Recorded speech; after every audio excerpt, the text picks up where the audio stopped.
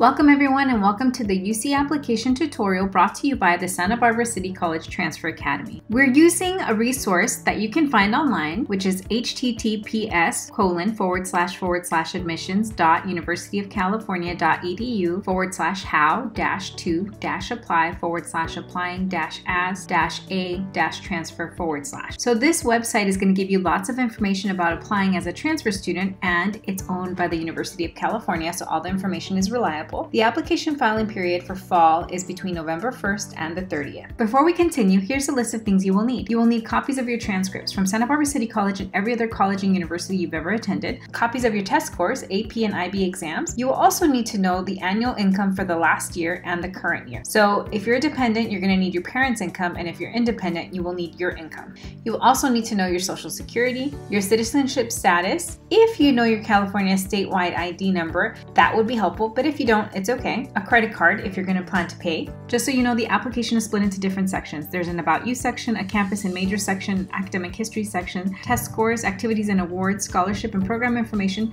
personal insight questions, and then the final step is to review the application and submit it. So if you're ready, let's get started. Follow me to https colon forward slash forward slash admission dot universityofcalifornia.edu forward slash apply dash now dot html and also follow me to the next video.